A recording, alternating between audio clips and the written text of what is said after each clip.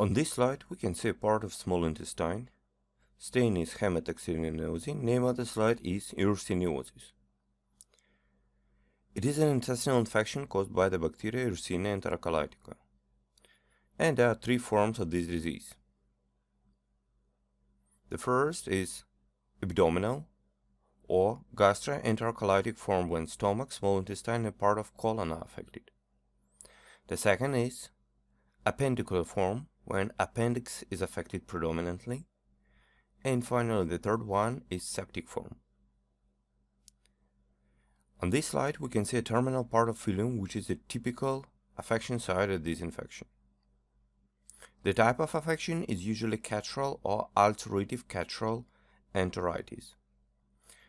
At low magnification, we can see mucous membrane of the terminal part of ileum, as well as submucous layer and the muscular layer. The mucous membrane is edematous, that's why the intestinal lumen is narrowed. At high magnification, we can find the following typical microscopical changes. At first, very pronounced hyperplasia of aggregated lymphoid follicles and ulcerative defect at the site of lymphoid tissue hyperplasia can be found.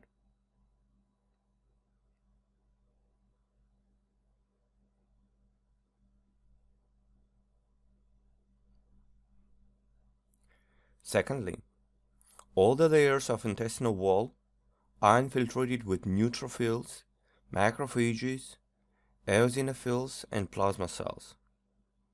The neutrophilic infiltration is mostly expressed in mucous and submucous layers of intestine. Sometimes, the neutrophil infiltrations get an appearance of so-called crypt abscesses.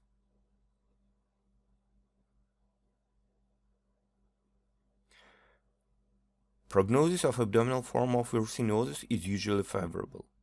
Number of cases, the disease can be complicated by intestinal bleeding and perforation of intestinal wall that leads to peritonitis.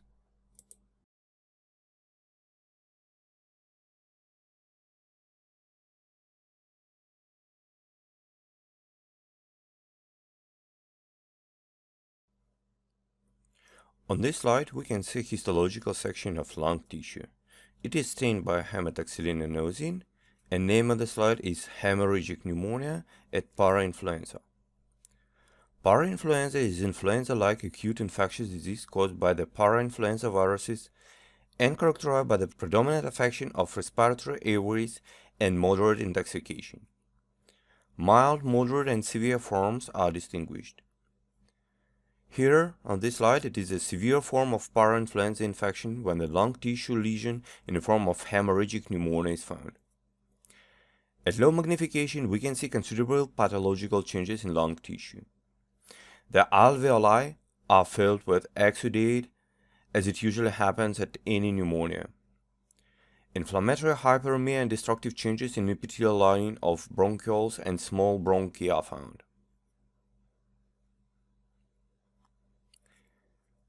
At high magnification, the alveoli are filled with a hemorrhagic exudate enriched with erythrocytes. We can also find lymphocytes, macrophages, and some other cells there. Presence of giant multinucleated cells, its another peculiarity, can be seen on this slide.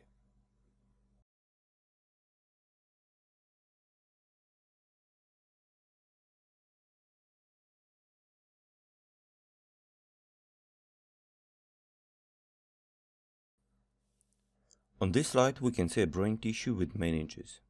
Stain is hematoxylin-eosin. Name of the slide is purulent meningococcal meningitis. Generally, there are following forms of the meningococcal infection.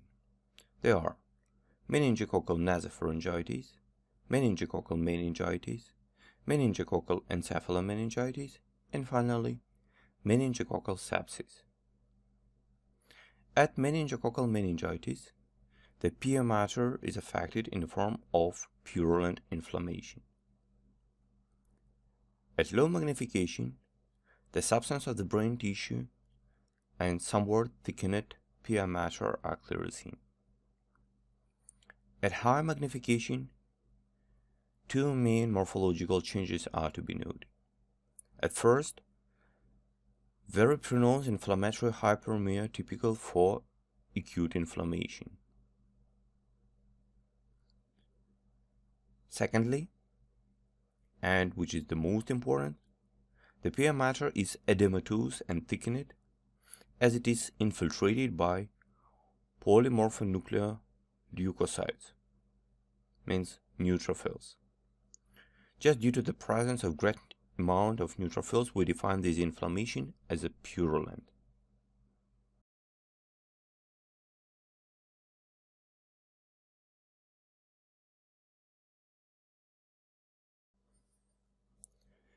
It is another slide with the lung tissue. Stain is hematoxylin and eosin. Name of the slide is pneumocystic pneumonia. The pneumocystic pneumonia is caused by the yeast-like fungus Pneumocystis jirovecii. It is an opportunistic infection and the pneumocystic pneumonia occurs mainly in patients with immune deficiency resulting from HIV infection, AIDS, or immune suppression treatment. At low magnification, the lung tissue is non-homogeneous and the most of alveoli are filled with exudate. The nature and type of exudate observed at high magnification are typical for pneumocystic pneumonia. In the lumina of alveoli, we can see a eosinophilic exudate with single blood cells and few fibrin. This exudate has typical foamy appearance stipulated by presence of great amount of pathogens which are fungus pneumocystis.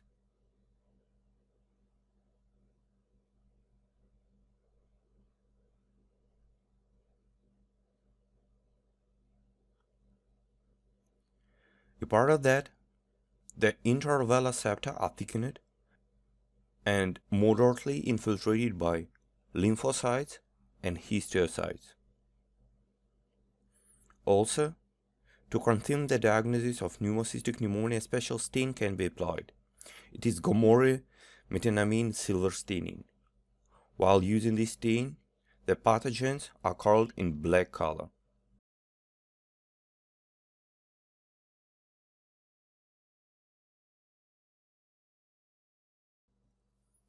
On this slide, we can see histological section of the skin. The stain is hematoxylin Name of this slide is deep dermatomycosis.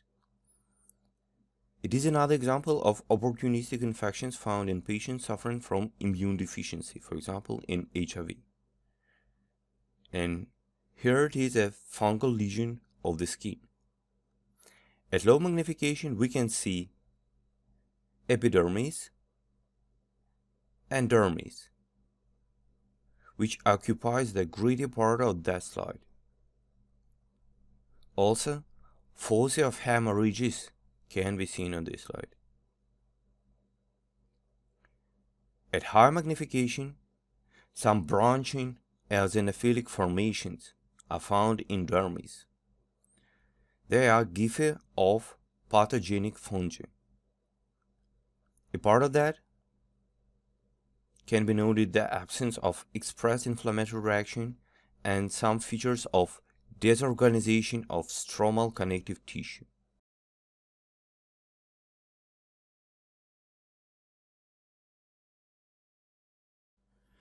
It is another slide with the skin. The stain is hematoxylin and eosin. The name of the slide is Kaposi sarcoma. Kaposi sarcoma or hemangiosarcoma is a malignant reticulohistiocytic tumor originated from blood vessels and localized predominantly on the skin.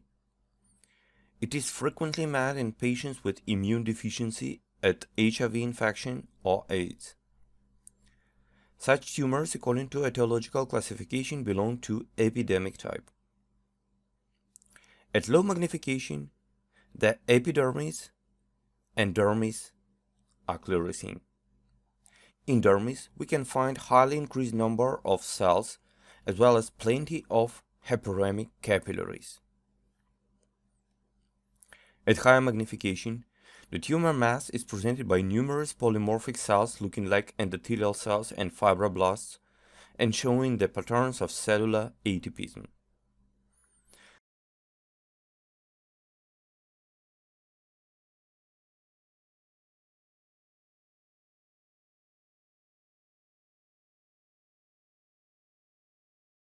There are also many new formed microcirculation vessels, some of which are filled with blood cells. A mild lymphohistiocytic infiltration is also present there.